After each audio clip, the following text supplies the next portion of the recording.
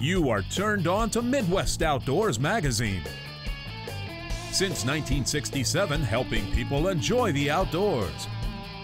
Sponsored in part by Rapala Lures, Shakespeare Ugly Stik, America's strongest, most sensitive rod, Northwest Ontario, Canada, Abu Garcia, quality rods and reels for life, and Supercharged Scent Killer by Wildlife Research Center, 99%. This week on Midwest Outdoors, we go duck hunting in Minnesota. Wildlife Research Center and Wiley X is in our Hunters Showcase, and we conclude our coverage of the 2015 ICAST show. It's a big show this week, and it starts right now.